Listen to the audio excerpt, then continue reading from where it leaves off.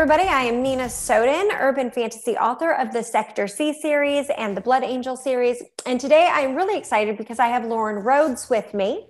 She is the co author with Brian Thomas of the novels Lost Angels, um, which is about a succubus who sets her sights on an angel and ends up possessed by a mortal girl's soul. That's awesome. The sequel, Angelus Rose, is that what it's called? Angelus mm-hmm. Rose came out in February 2020. So there are two books you can pick up to check out that series. She is also the author of The Dangerous Type, Kill by Numbers, and No More Heroes, a space opera trilogy set after a galactic war has wiped out much of humanity. She's the author of 199 Cemeteries to See Before You Die and Wish You Were Here Adventures in Cemetery Travel. She blogs about graveyards as travel destinations at cemeterytravel.com. And you will not be surprised when I tell you that she likes long walks under the moonlight and through the graveyards. That is fantastic. Okay, Tell me just first, I, I, have to ask about this. Why graveyards? Why are you obsessed with graveyards and traveling to graveyards? I personally love like tombstone rubbing, but what what draws you to graveyards? It's probably the memento mori aspect, but um, I just find it really peaceful. I really like to travel, and my husband's one of those piece, people who will drag me to every restaurant in town until he settles on one. Okay. So I drag him to cemeteries and make him look at every gravestone. And I just I like the the peace and the sunshine and birdsong, all of that. Where is your favorite cemetery?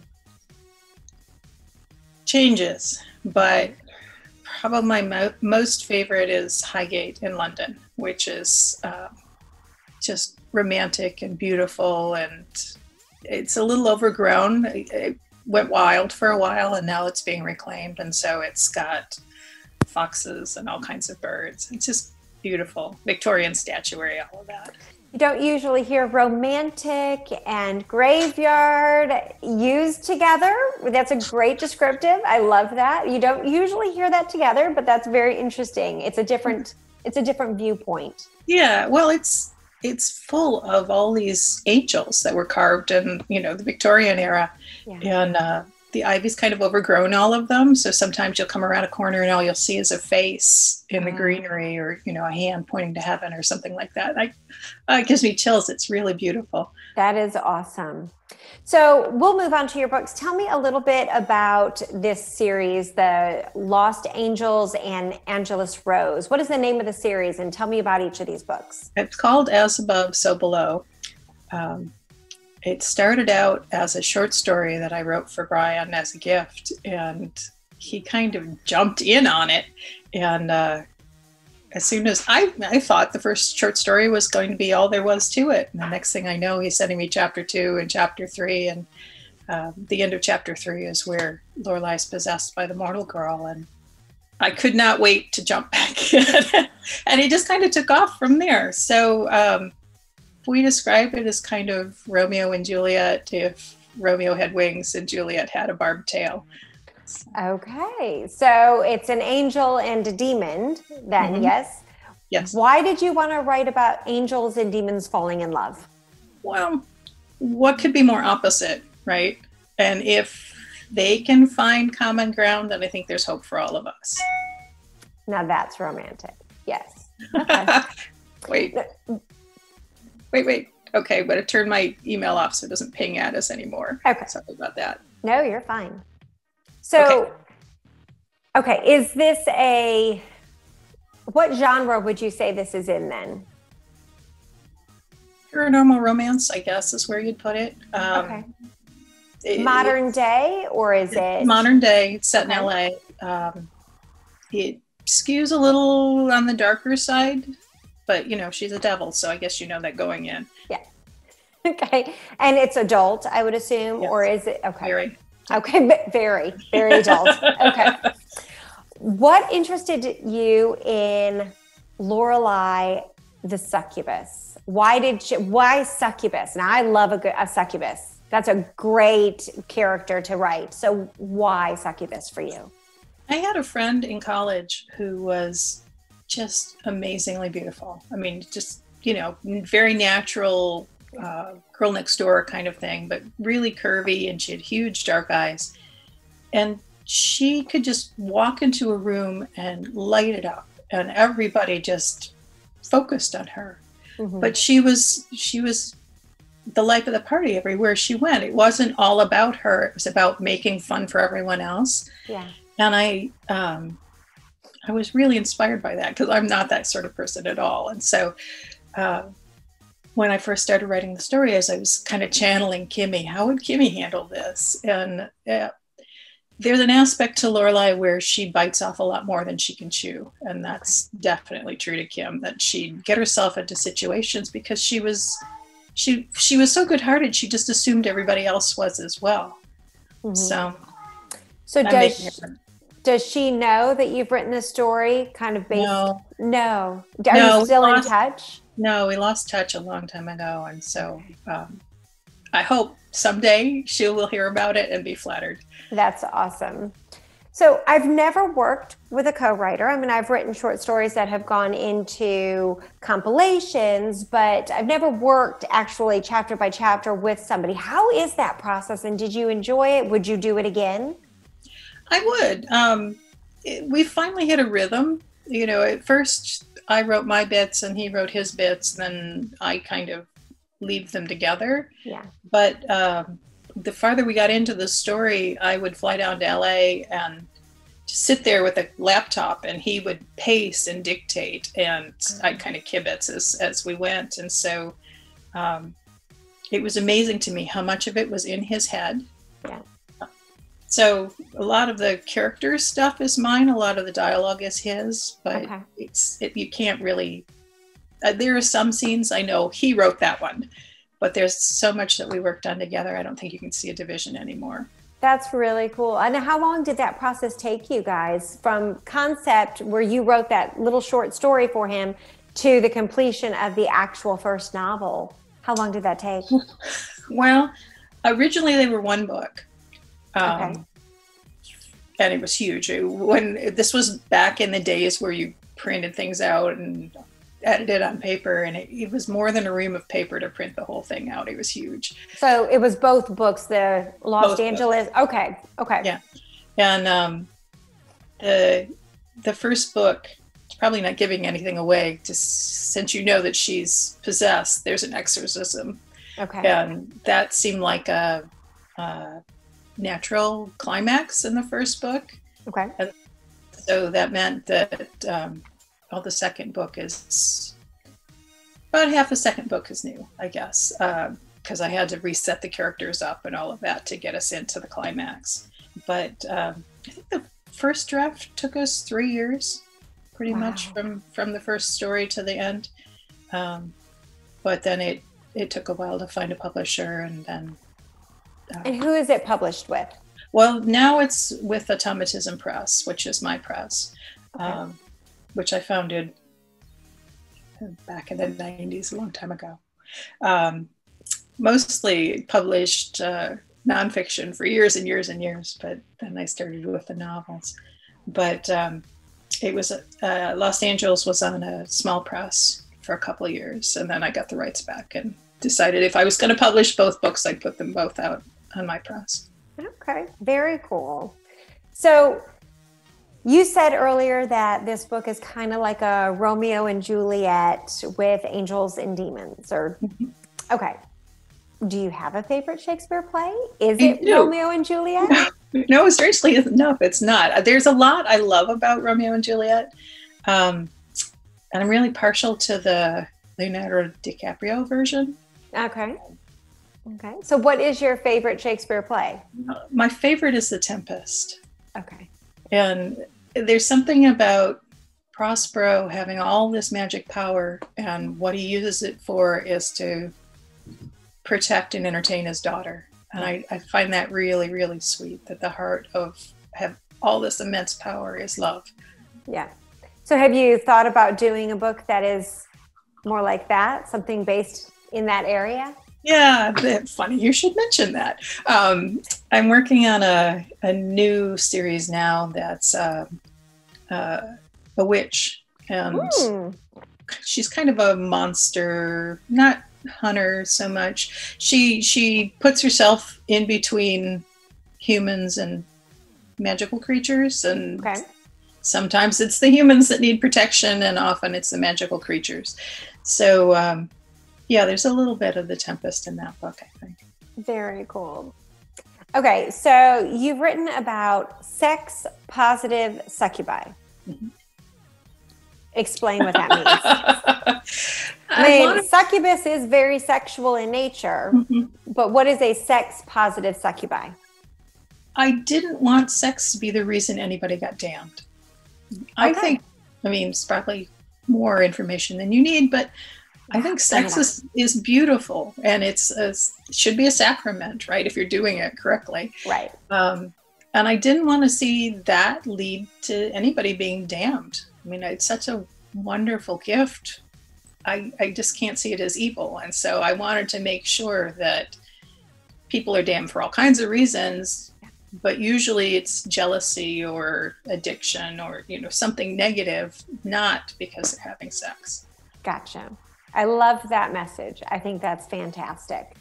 Um, what is your journey? What has your journey looked like in terms of publishing? Now, I know it's published right now with you and your press, which I assume you publish other author stuff, or is it just solely mm-hmm. your own? No, um, I published. Uh, oh, it's the best book. It's it's called Blacklight by Martha Allard, and it's um, set in the 80s about a rock band with ghosts and psychic vampires and just all sorts of amazing stuff. It's I love that book. That's awesome. Um, yeah, and I I'm thinking about going back and doing more anthologies. Um, maybe next year. It's with the world being the way it is. I'm trying to figure out what I want to do you know, yeah. moving forward. My cat is going to shout at us now.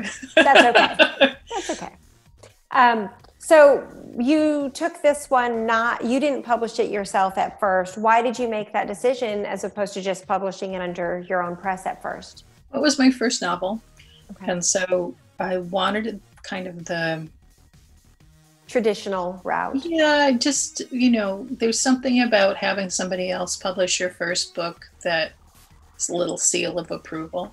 Okay. Um, it was a very small press that I met at one of the World Horror Conventions, and almost everything else that they published was strictly horror. And so my book was kind of not fish, not fowl there.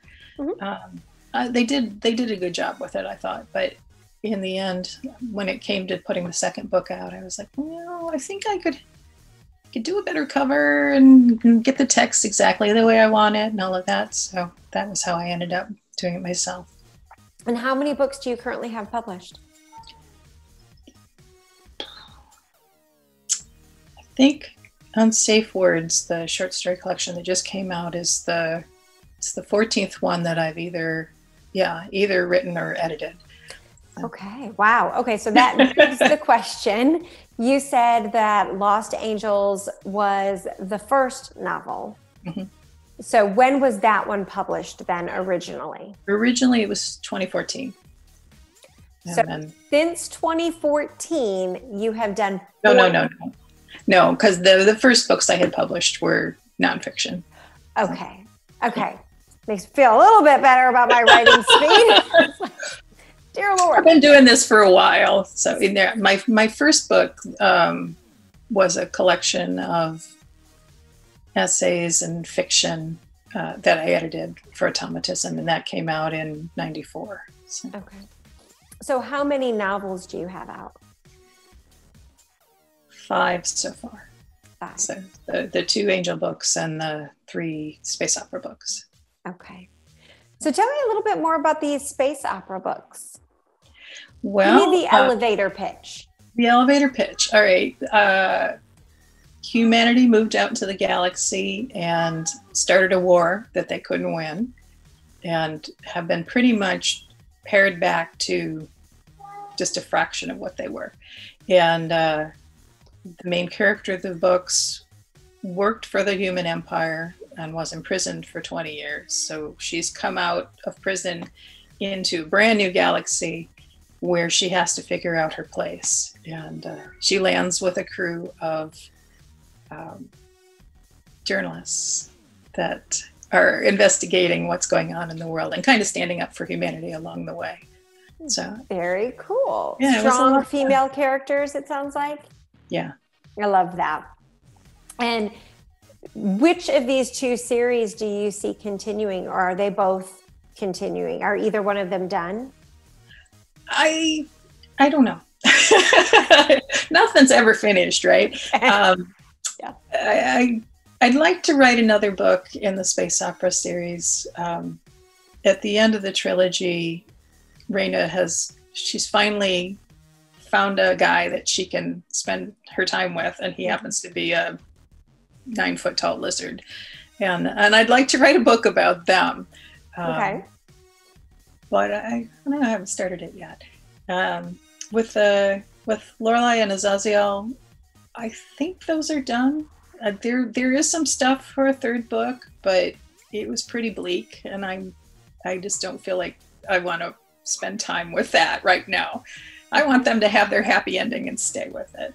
But I've been writing short stories in that universe, and so um, one of them's in Unsafe Words. It's uh, uh, there's a throwaway line in Angelus Rose where Lorelei's talking about she uh, worked in LA in the 70s in the music industry, and I thought, geez, I wonder who she met. So uh, I was listening to a little Led Zeppelin, and there's a, a line in Dazed and Confused about never bargained for you, and I thought, oh. is that a oh. story about a succubus or not? So. Okay, so there's there's some short stories that may come out that are in that world. That's nice.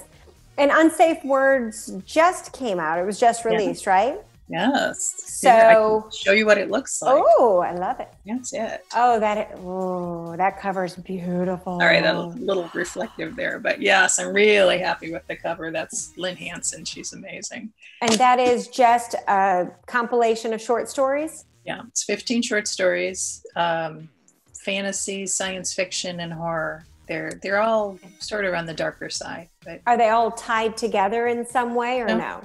Just individual short stories. Yeah. Very cool. And has that um, brought good? I mean, are, is it selling well? Are you doing well with that one? Yeah, we just came out the 20th of September. And this is, so, so new. Yeah, early October when we're recording this. So, yeah, it's just a couple of weeks, but I've started, it's out on book tour, this blog tours this week. So, Okay. We'll see how that goes. Well, I will include links to both the series that you have as well as that one in the description below so that people can pick those up because I think that's fantastic. I can't wait to check those out. Um, tell me what you're working on now. I mean, other than the short stories, is there anything big coming up that uh, you're working on? Yeah, the the the book about the witch I think is going to be called "The Death of Memory," um, and uh, she meets a vampire and they ex- they explore San Francisco, which is where I'm from. But it, so it's kind of a love letter to the city. Oh, nice. And uh, you know we're in such flux now. A lot of the older places are closing and may not open up again, and so I just I want to express my love for them before everything's gone. And San Francisco is so beautiful. It's just it's breathtaking in areas. We um have visited there and I used to live in California. So I just, I mm. love California. I love the coast, everything about it. So I love anything that has to do with, with Los Angeles and California in general. So very nice. All right. Tell me why writing? How did you start writing? And are you one of the authors that actually gets to do this as a full time job? Is this your full time job? It is, yeah. And it has been for a while. Some years are better than other years, but um, and this year it's been hard to write. Yeah, it, it's been hard to concentrate, and I know I'm not alone in that. But no, you are not. Yeah, it just something's finally turned the corner, and I guess I we've been on really strict quarantine since February. My my daughter has a chronic illness, and so we're just not going out. Yeah. And I don't know, something unlocked finally, and I've finished your short story last week. I've got another one started this week, and I finally feel like I'm moving forward. So. Yeah. And how long are your short stories, roughly? How many words?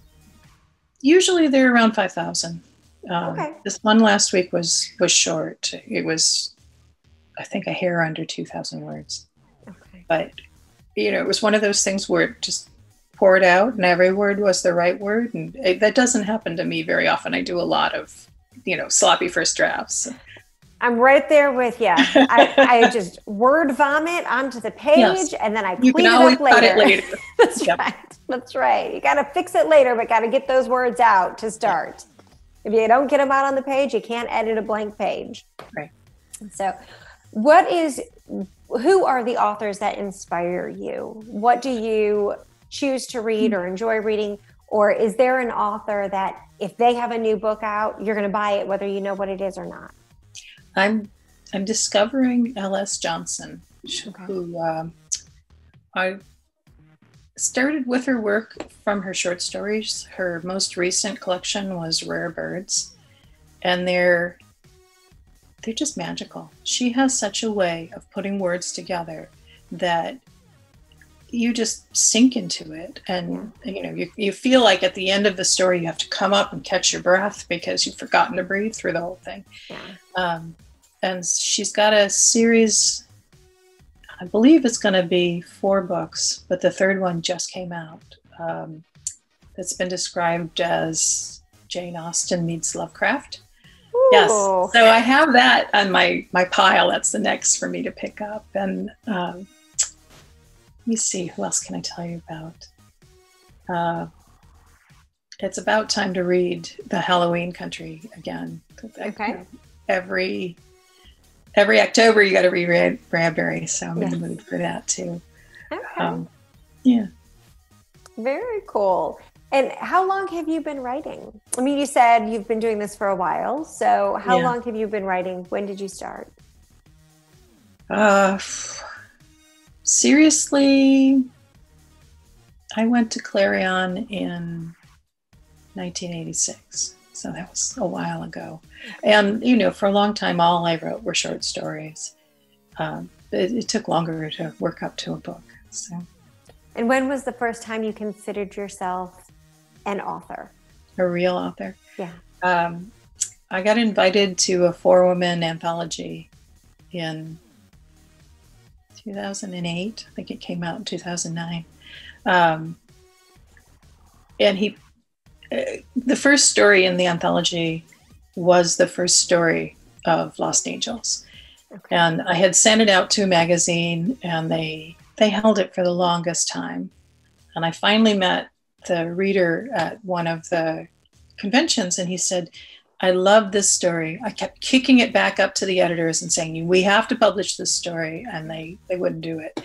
So eventually, it was rejected from them. But he, when he found me, he's like, "Is that story is still available? I want to put an anthology together, and I want that story for the anthology." Yeah. That's uh, awesome. Uh, yeah, I mean, just that kind of support from somebody. Um, it's the first story in the book, you know. And I, I, that gave me the confidence, you know, if, if I can write something that someone will remember, you know, yeah. they read it in slush and they remembered it years later, then okay, I must be doing something right. Right. Absolutely. I think it's interesting to ask authors that question of when you first saw yourself as an author because so many authors were authors before that time, before it clicked that, mm-hmm. hey, I'm really doing this.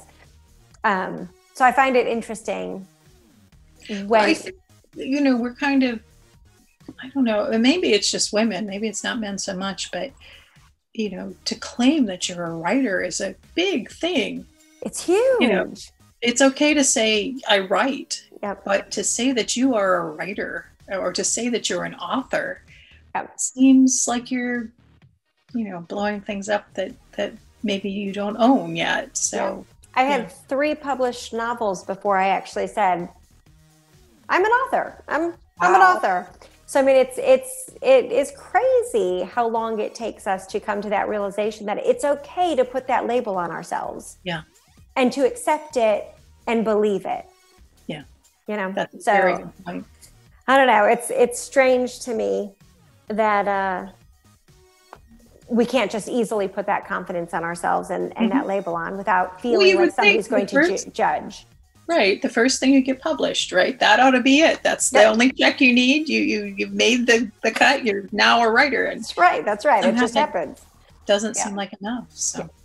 So what advice would you give to a new author or somebody interested in becoming an author? Don't give up. Do not give up. It what is the time. Is that the best advice you've ever been given too? Or what I is met, the best advice you've been given? I met Ray Bradbury when I was just starting out, and um, he was up in San Francisco for a, a book event. And I you know he was a hero of mine, and so I had to wait till everybody else left the bookstore because I just could not get up the nerve to talk to him. Yeah.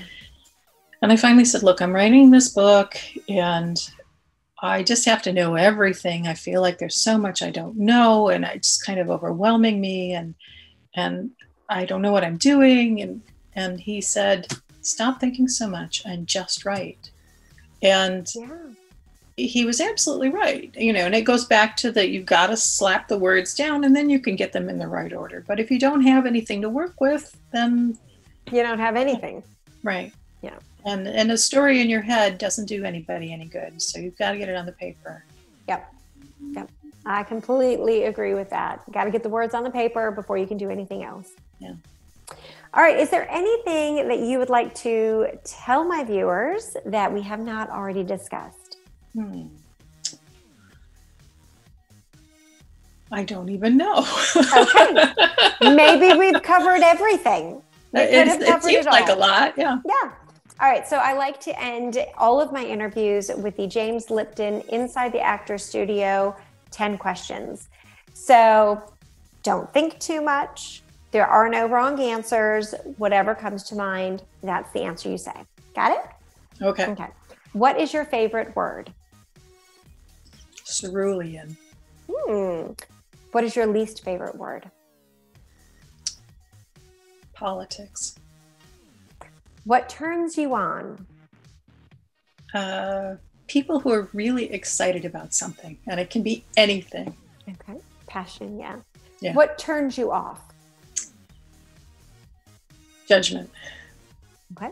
What noise or sound do you love? Birdsong. What noise or sound do you hate? Really loud motorcycles. What is your favorite curse word? Motherfucker. Oh, it just applies it. to so many things. okay. What profession other than your own would you like to attempt? I'd like to be a tour guide. I think Ooh. that would be really cool. That would be fun. Yeah. What profession would you not want to attempt? I keep a list. there are so many things. Um, there's a film festival in San Francisco, and every year they do uh, a bunch of documentaries, and I always make it a, a, practice of seeing one for a career that I absolutely would not want to do. You know, I figure I might as well learn about it. And one of them was about uh, being on one of those container ships and being at sea. You know, and you're in. It's a very large boat, but it's a very large ocean, and yeah, you know, just it was horrific. So I, I, would not like to work on a container ship. I would probably second that. Yeah. All right. If heaven exists, what would you like to hear God say when you arrive at the pearly gates? We need to talk about Lorelei. okay, that's awesome. All right, everybody, thank you so much for watching. Thank you so much for doing this interview with me and coming on and sharing about your process and your writing and your books. I'm so excited to check those out. I got to put them on my to read list. for anybody out there that is watching this that wants to read her books, the details are down below in the description. Click the links, buy the books, and read and support her. All right, everybody, that's it for now. Bye bye.